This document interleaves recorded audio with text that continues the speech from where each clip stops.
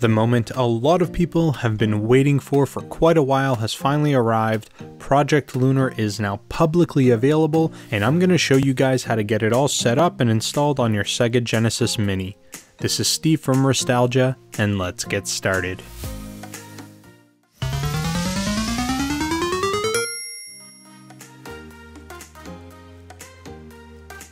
Before we get started, make sure to subscribe to the channel. It really is one of the best ways you can support the channel. It gives me the ability to work with different brands, companies, and even developers to show you guys some really cool new products and software. I always give you guys my honest opinion to help you guys decide if something's really right for you. So please give the channel a sub and give it a thumbs up. It's greatly appreciated. Now let's get into the video. Alright, so here we are. We now have Project Lunar ready to go and uh, as always, I get my builds and all of my files in advance, so I'm not going to be able to show you specifically where on the website to download it, but as always, you can just go down to the description down below and all the links will be directly there. So if you guys have been following my videos on Project Lunar, you guys know that Mod My Classic has designed a desktop app to actually not only to install Project Lunar onto your Sega Genesis Mini, but to also manage all of your games right from within this app. So what we're going to do is we're going to go ahead and uh, download the installer, which I've already gone ahead and done, and we're going to double click on it to open it. Now you guys may get something like this pop up on screen, especially if you're using Windows, and it's going to say, hey, Windows Defender's detected, something's unrecognized, this uh, this app might put your PC at risk.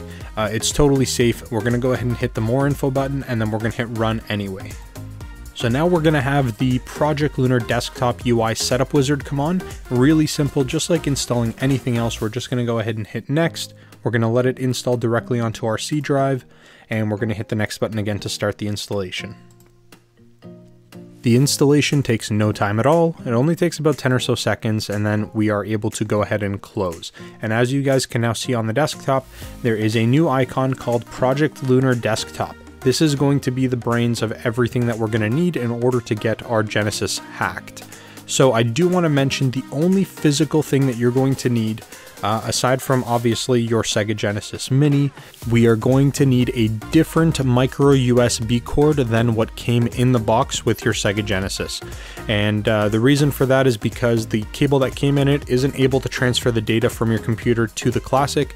So what I've gone ahead and done is I just grabbed an old uh, cell phone uh, charging cable. So I've gone ahead and plugged the USB cable into my computer, but I've left it unplugged from my Sega Genesis Classic. What we're going to do next is we're going to go ahead and open up the Project Lunar desktop app. The desktop app's going to open and you're going to see that we have a couple of options. We've got an open slash uninstall option and we've got an open game manager option. Obviously, we haven't installed Project Lunar on our Genesis Classic, so we need to do that first. The first thing that we're going to do, obviously, is click that button. First, what's going to come up on the screen is uh, the installer, and it's going to check to see what the mod status of the Genesis is. So because you haven't hacked the Genesis before, it's going to check that, and it's going to give us a pop-up on screen in just a few minutes after it's gone ahead and checked all of that information out. So now you can see it says no console has been detected. Do you want to start Project Lunar install process? The reason it can't detect anything is because one, we don't have our Genesis connected into our computer yet, and two, we need to get the Genesis into kind of like a recovery mode. It's called an FEL mode. And in order to do that, it's really, really simple, but we are still going to go ahead and say, yes, we want to start the Project Lunar install process. Next, it's going to ask if you would like to open the interactive how to help guide to show you how to install Project Lunar. This is actually a really cool feature. I'm just going to show you really quickly what this is. So when you hit yes, it's going to actually tell you this is exactly what steps you need to do physically on the console in order to get it into that recovery stage that we need to install Project Lunar on the device. And it's all entirely done at your um, at your pace. So you can kind of choose how quickly you're going through things. Uh, but I'm not going to use this. I'm just going to show you guys and then I'm going to put some of these images on screen uh, as well just to kind of help you guys out. So as you can see here, it's going to say uh, we are waiting for uh, the FEL mode. And the way that you do that is you need to unplug your system, which mine already is. Then you power on the power switch with it unplugged. While that's on, you're going to press and hold the reset button, and then you're going to plug the system back in. So I'm going to go ahead and do that. And what you're going to notice on the actual Sega Genesis Classic is while you're holding the reset button and you plug in the USB cord into the back of the console, the power light's going to come on and then it's going to flash off and then it's going to come back on again. And that's going to indicate that we are indeed in FEL mode. So that's all we need to do. Once the software recognizes that we are in FEL mode, it will automatically start installing the mod directly onto our Genesis Mini. Again, what we need to do is we need to turn the Genesis switch on while the USB cord is not plugged in. Then we're going to press and hold on the reset button. And while we're holding the reset button, we're going to go ahead and pop the USB power into the Classic. And we are going to wait for the power light to come on, turn off, and then turn back on. Now, as you can see on screen, we've already detected that we are now in FEL mode, and we're gonna start transferring all of the stuff that we need onto the mini console, and it's gonna go ahead and do everything entirely for you. You don't have to do anything else at this point. So this process is gonna take about 10 or so minutes. What I'm going to go ahead and do is I'm going to fast forward through the process, but I am going to put some on-screen prompts so you guys can see what it's going to look like both on your Genesis mini console screen as well as what's happening on your computer.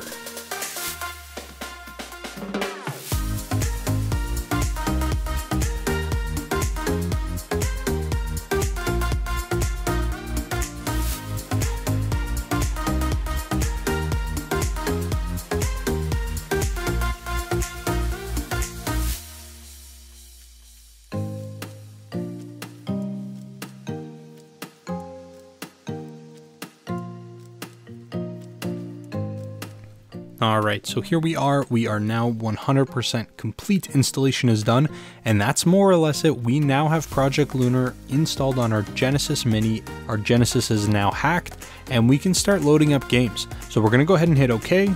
We're going to hit finish here, and we're done. Next, we can go ahead and open up the game manager.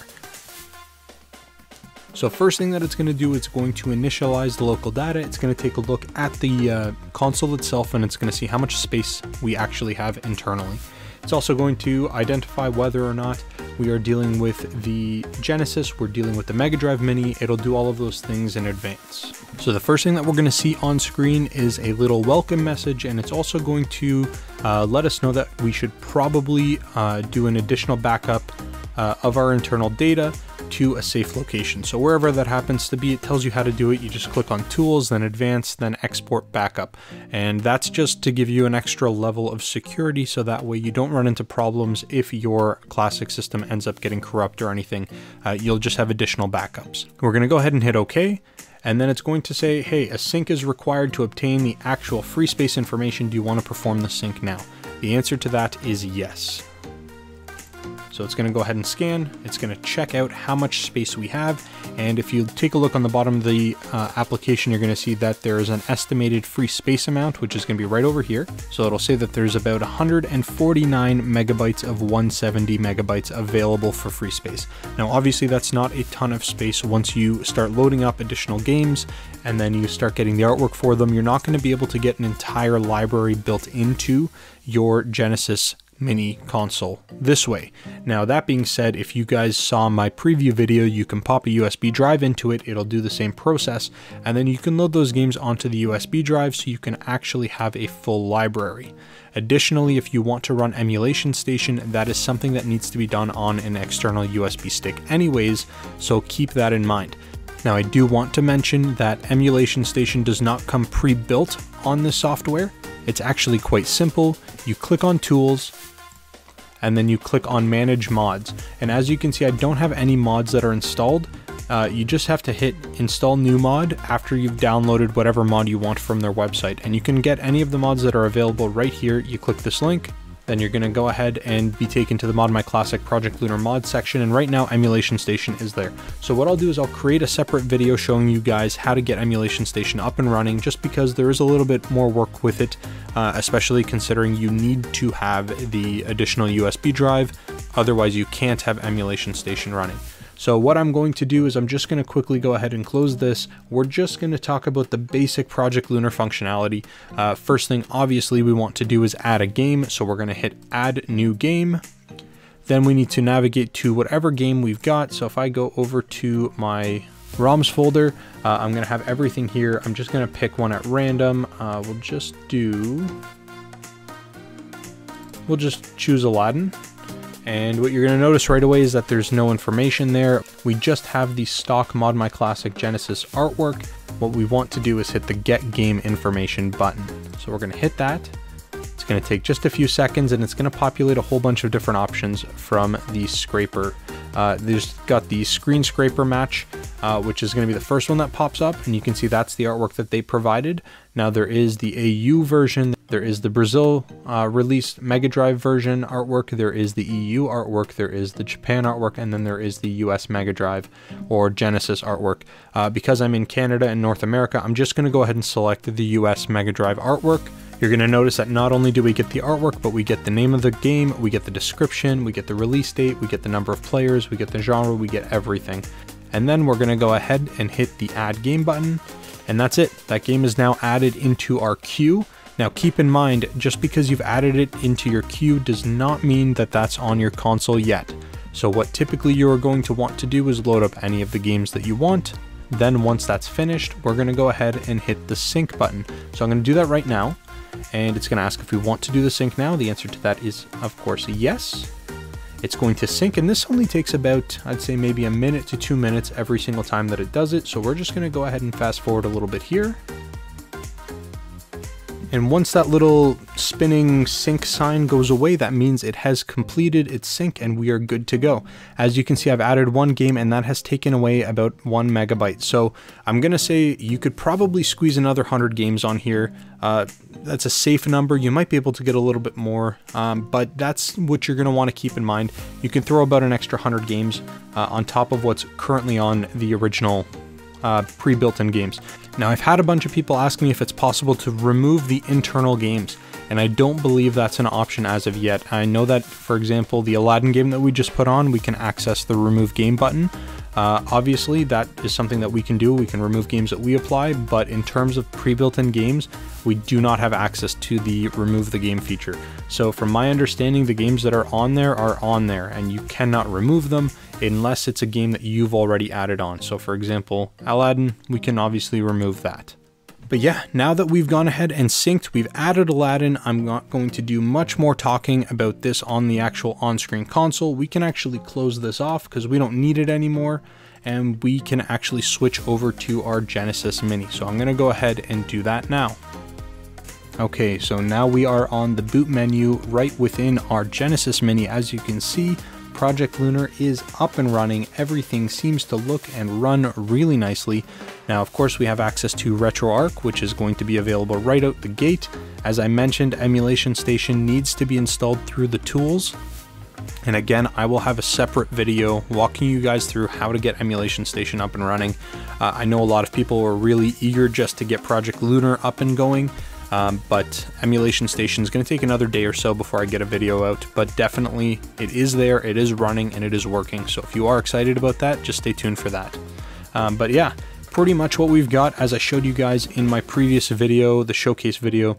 You've got your settings if you press the B button, which is just going to essentially allow you to enable and disable different features. You've got a splash screen on boot, I actually like having the splash screen, so I'm going to turn that on. And the next big one that obviously most people are going to want to do is toggle the uh, CPU speed up. Now this feature has been thoroughly tested and it is very stable, but there is a chance that some games or some things won't run 100%, so they give you the option to kind of toggle back and forth depending on whether or not you need it.